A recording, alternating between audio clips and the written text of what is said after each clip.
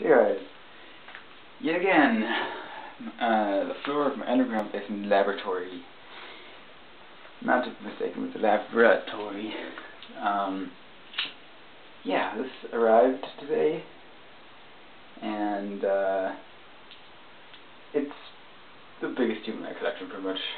I am not going to tell you which tube it is, yet.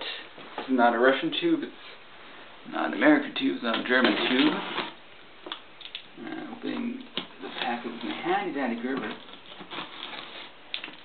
Everybody who works with science should own a Gerber. And no, Gerber's not yet a sponsor, but they should be. Okay, that went well. That was much easier than expected. Ooh. Packaging material. Oh, it's fun. Also known as peanuts. So yeah, I'm just gonna make a mess here and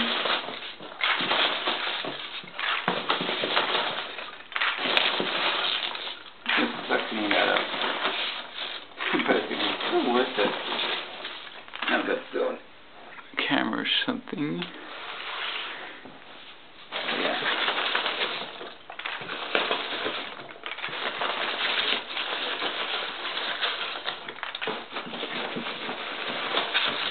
And if if you're watching Tristan, which you probably are, uh, you know what this tube is.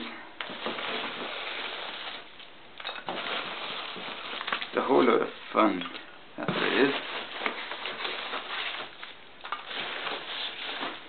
Okay. Let's unpack this beast. Ah, it's heavy. I wonder how they even got the thing in there.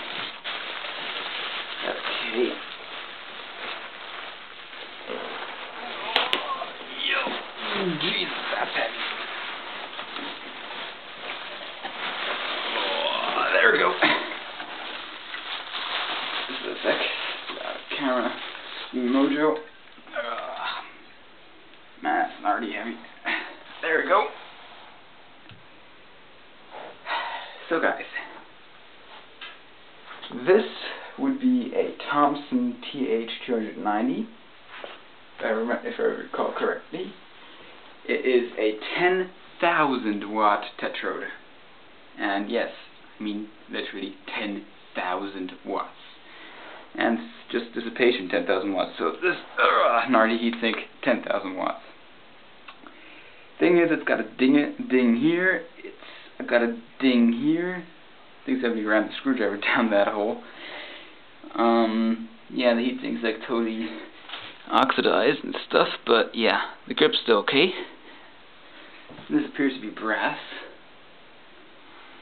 And actually, I gotta put this down again because this is freaking heavy. Um, got the Thomson logo right there. There's a name of the tube, Tom, the Thomson logo. It says TH290 there, and then Thomson CSF. I think that's what it says. Yep. Mm, this is heavy. Um, this cap, as I mentioned in my other video, is to conceal a piece of pipe which was used to suck out the air, uh, also known as evacuating the tube. Uh, there were two of these on eBay. I got one of the two. The other one I was sort of outbid, but mm, yeah, the other one was in much better condition. I got overbid.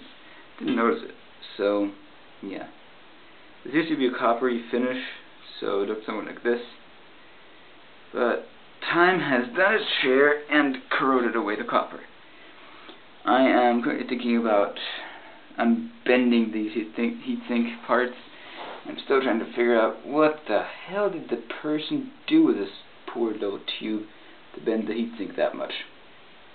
Because honestly, I got no clue. Yeah. The only thing I know about this tube is it's got 10,000 watts of dissipation, and that's literally the only thing I know.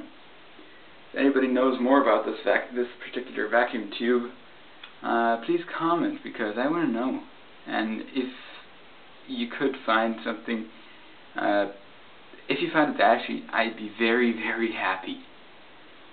Because data sheets are cool. I like data sheets. Especially uh, about tubes that I have and that are quite huge. Yeah. Uh, little history on this tube. It was made in um, France. Uh, this one got uh, this particular tube then went to uh, Wien, which is in uh, Austria, and that's where I got this tube from. Uh, it was probably operated uh, power was op it was probably operating in a push-pull transmitter because there were two of these. Probably TV transmitter because it was a tetrode. The offer had the tube lying like this which also looks quite cool. So, um, yeah, big giant piece of copper. Weighs about, uh, I guess, 6 kilograms. I'm probably going to clean it up a bit, because I, I like good looking tubes. So yeah, so my largest tube, my collection so far, and um, yeah, I'm very happy. And the ceramic part down there's got that smears and schmutz on it. And yes, that is a German word in the English language. Don't comment or anything. That was just radiator in the background. Yeah, if I, I, it actually looks like this. The thing has got the same heat, um, connector as my one and a half kilowatt RCA tube, which I showed in the Christmas vlog because I got it around Christmas. And uh, by the way, guys, I'm getting I am currently waiting on another vacuum tube, which I ordered. And um, you guys are gonna uh, guess or do something, or do like a guessing thing to find out which vacuum tube I actually got. Uh, the only thing I'm going to say about it is it's 140 watts of dissipation and it's a Russian vacuum tube. It's a glass type tube. And it's a tetrode. Let's see if somebody actually comes up with an answer. And no, you're not going to win anything, but you are going to be mentioned in the next video. Plus adding to your channel if you if somebody actually manages to succeed in guessing the vacuum tube. Which I sort of doubt. And no, Tristan, you're not going to um, tell them what the tube is.